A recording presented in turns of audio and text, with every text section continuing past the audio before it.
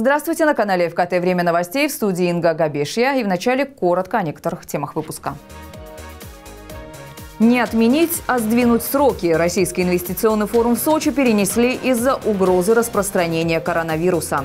В Хосте открылась «Аленушка». Новый корпус детского сада построили на месте старого, на улице Октября. По батарее бить уже не надо. В России предложили ужесточить наказание для шумных соседей и ввести штрафы. В Сочи пройдет лыжняк Кубани. Принять в ней участие могут все желающие, но со своим инвентарем.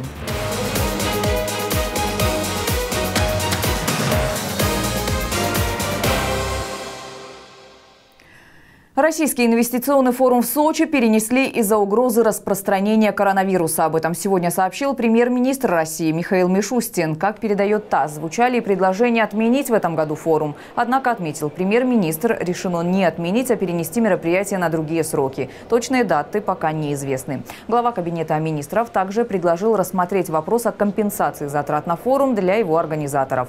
Напомню, планировалось, что Российский инвестиционный форум пройдет в Сочи с 12 по 14 февраля февраля. Перенос сроков Российского инвестиционного форума не повлияет на инвестиционную политику Краснодарского края, сообщил глава Кубани.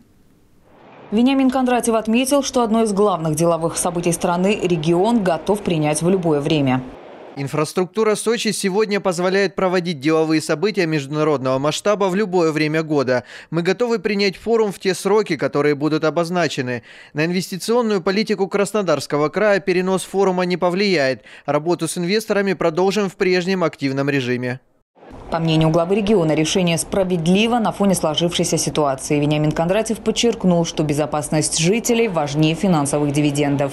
Российский инвестиционный форум должен был начаться 12 февраля. Ежегодно на площадке собираются бизнесмены и политики, устанавливаются деловые контакты, подписываются многомиллионные соглашения. На сегодняшний день предварительно заявлено около 8 тысяч гостей из десятков стран мира. В прошлом году краевые власти заключили на инвестфоруме соглашение по проектам в сферах жилищно-коммунального хозяйства, агропромышленного топливно-энергетического комплекса выстроительства на общую сумму почти 300 миллиардов рублей.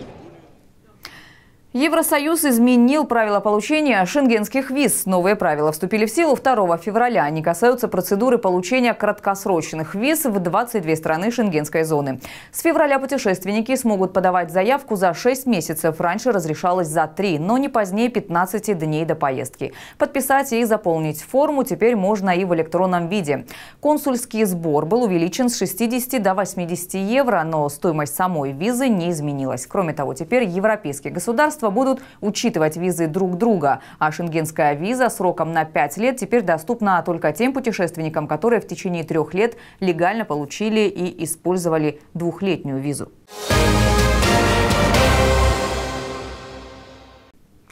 Решение социальных проблем и поиск точек роста для экономики. И такие задачи теперь стоят перед новым исполняющим обязанности главы Усть-Лабинского района. Сергея Запорожского местным депутатам представил губернатор Кубани.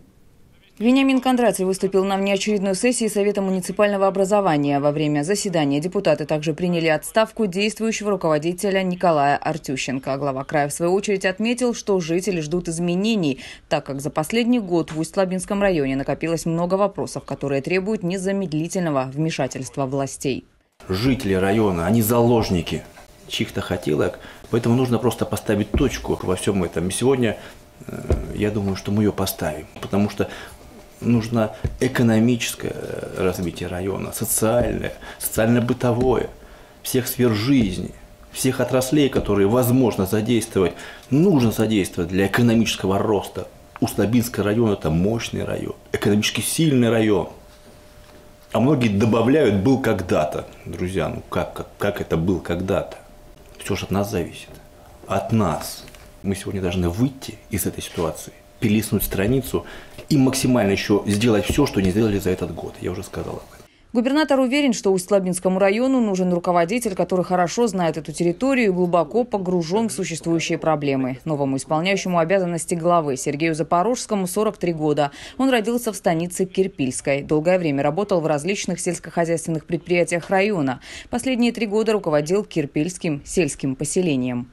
И своих талантливых и в Усть-Лабинском районе достаточно людей с высшим образованием, которые могут том числе делать экономические прорывы. Такой человек, конечно, есть, и я хотел бы вам его предложить. Э, он будет исполняющим обязанности Услабинского района. Сергей Анатольевич здесь родился, он был главой поселения, он был успешным главой поселения, наверное, единственным, который э, максимальное количество программ краевых затащил в это поселение, именно затащил, исходя из собственных возможностей. Я уверен, что для района он сможет еще больше и программ завести, и, и вот тот самый экономический прорыв, о котором я говорю, сделать вместе с вами. Надеюсь, что в ближайшем будущем вы его поддержите уже на должность главы Услабинского района. И все у нас получится, по крайней мере. И все, что потеряли, наверстаем и еще и приумножим. После окончания сессии Совета депутатов Усть-Силабинского района народные избранники еще долго общались с губернатором Краснодарского края. На незапланированном совещании говорили о первоочередных задачах, которые стоят перед муниципалитетом.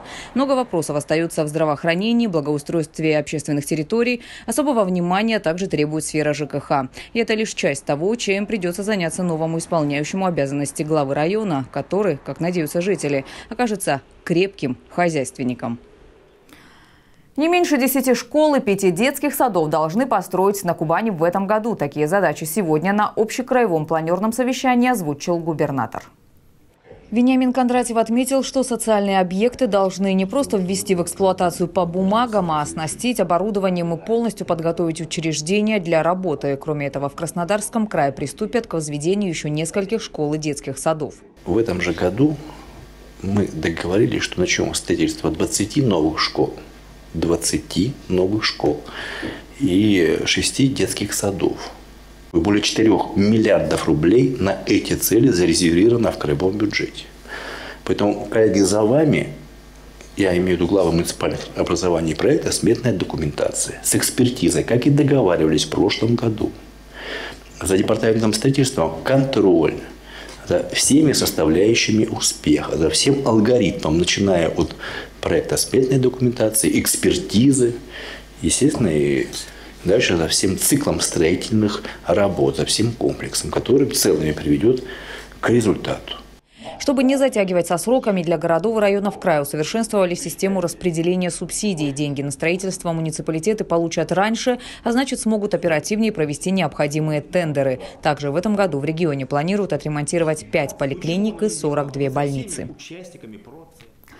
В рамках реализации национального проекта образования в поселке Хоста открылся новый корпус детского сада номер 7 «Аленушка». Он появился на месте старого, который был открыт еще в 1930 году. По случаю новоселья устроили праздник.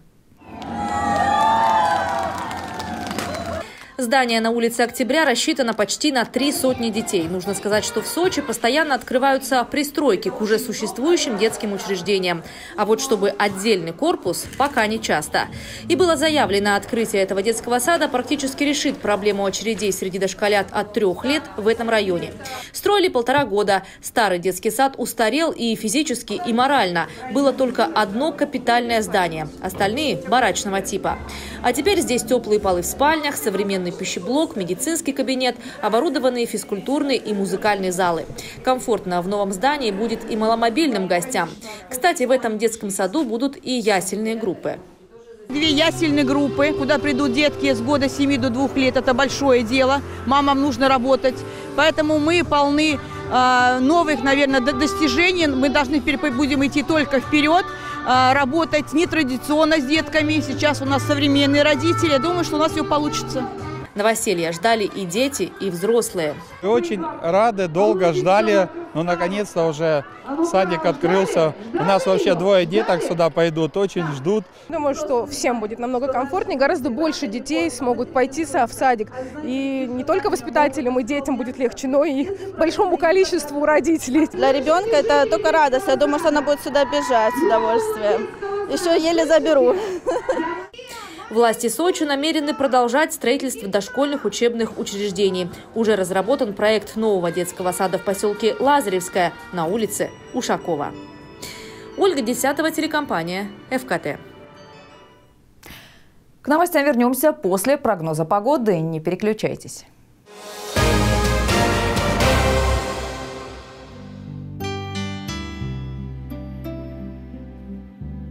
4 февраля в Сочи облачно, дождь. Температура воздуха ночью плюс 5, плюс 7. Днем 7-9 градусов выше нуля. Температура морской воды плюс 9. В Красной Поляне переменная облачность. Температура воздуха ночью минус 1, плюс 2. Днем 4-6 градусов выше нуля.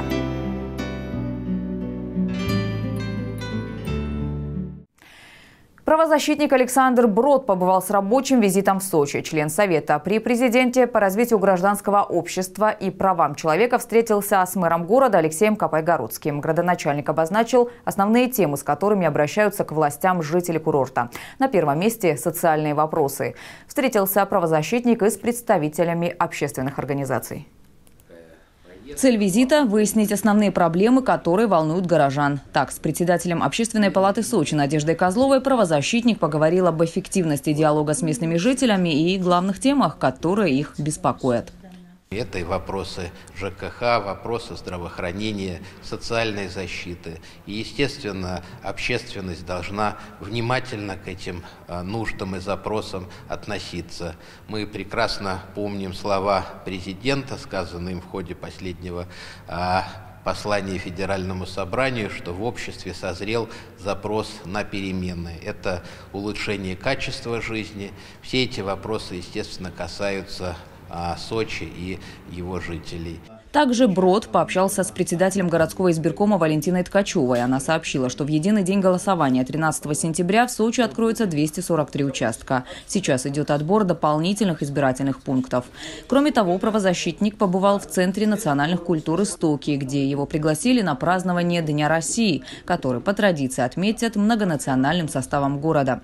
Добавлю, что итоги своей поездки на курорт Александр Брод уже озвучил на совещании независимого общественного мониторинга мониторинга в Москве, а в следующий раз в Сочи он приедет уже в этом месяце.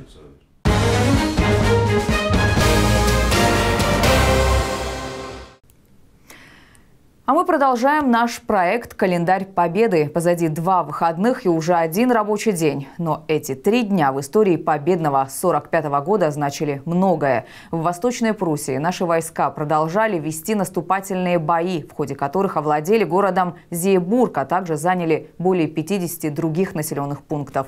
Как написали в этот день «Известия», война вернулась на землю, ее породившую.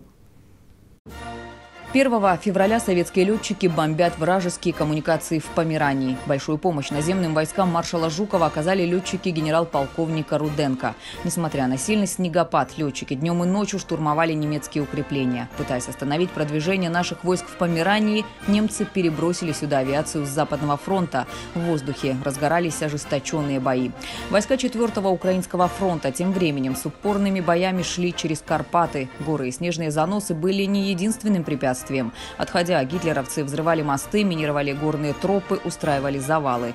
Нашим бойцам приходилось не только вести бои, но и строить новые мосты, расчищать дороги, там, где не могут пройти машины, тащить на руках пушки и минометы. Саперное отделение сержанта Никулина, например, работая по пояс в снегу и ледяной воде, обезвредило тысячи мин. Союзники в это время вели бои в Голландии и севере Германии.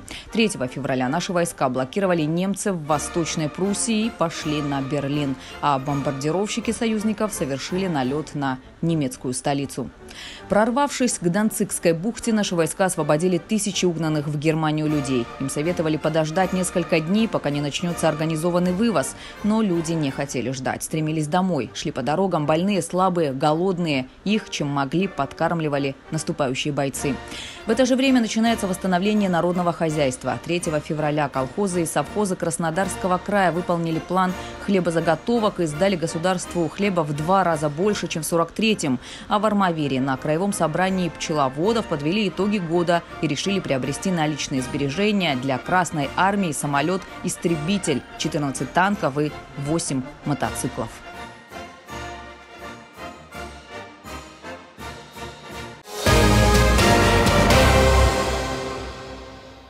Сочинцы впервые смогут принять участие в переписи населения через интернет. 1 октября стартует главное статистическое событие страны – Всероссийская перепись населения. В этот раз она впервые пройдет в цифровом формате. Волонтеры будут записывать данные граждан с помощью электронных планшетов.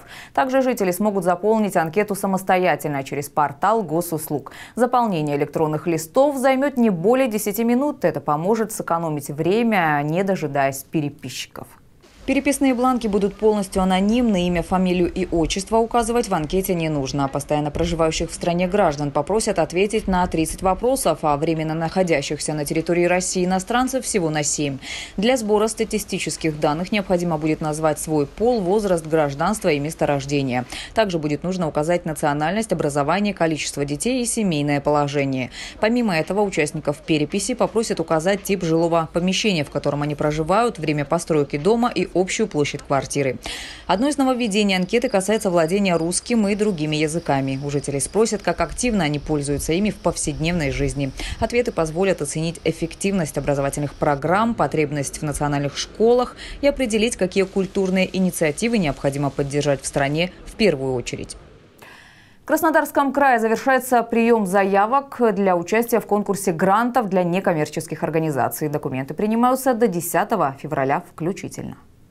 Некоммерческие организации могут подавать свои проекты по таким направлениям, как социальная поддержка и защита граждан, благотворительная деятельность, охрана окружающей среды и защита животных, развитие и поддержка детского и молодежного общественного движения, деятельность в сфере патриотического воспитания и другие.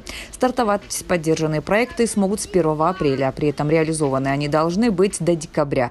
Конкурс призван оказать финансовую поддержку социально ориентированным некоммерческим организациям, реализующим собственные проекты в крае.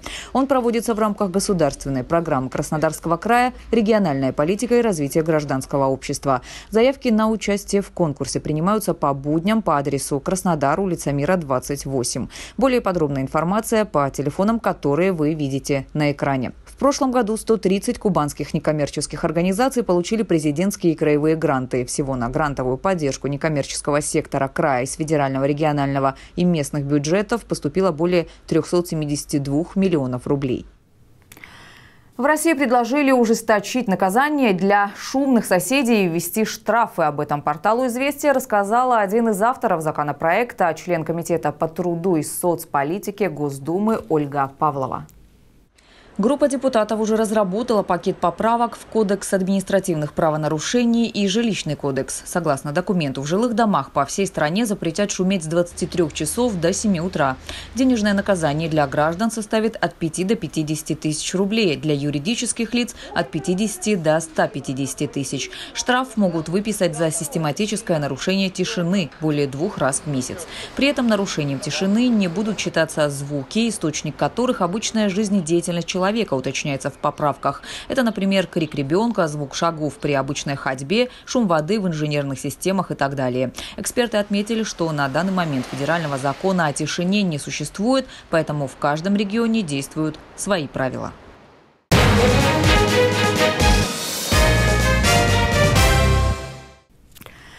Сочи пройдет лыжня Кубани. Традиционные массовые соревнования по лыжным гонкам состоятся 9 февраля на базе комплекса для лыжных гонок и биатлона «Лаура». Соревнование пройдет в рамках открытой всероссийской массовой лыжной гонки «Лыжня России». Ограничения возраста для участников нет. Дети до 17 лет включительно допускаются только при наличии справки от врача. Участники от 18 лет и старше при наличии допуска врача или личной подписи в карточке участника, подтверждающей персональную ответственность за свое здоровье. Каждый участник соревнований обязан иметь лыжный инвентарь, лыжи, палки, крепления, лыжные ботинки. Будут открыты две дистанции – 5 и 10 километров. Комиссия по допуску участников работает всю неделю с 9 до 12 часов по адресу улица Воровского, 19. И на этом я с вами прощаюсь. Все новости уже на нашем сайте fkt.com. Смотрите нас в кабельных сетях «Радист» на 56-й кнопке и телепакетах «Билайн» на 76-й, а также в социальных сетях в группах «Говорит Сочи» в Фейсбуке, Инстаграме, Одноклассниках, Телеграме и в сообществе ВКонтакте. И заходите на наш канал в Ютьюбе «Говорит Сочи». В студии была Инга Габиша. Спасибо за внимание и всего вам самого доброго. Одежда ведущей предоставлена мультибрендовым магазином российских производителей «Сезоны». Это новые тенденции, качественные материалы и безусловный комфорт. Найдите свой стиль по адресу улица Парковая, 17.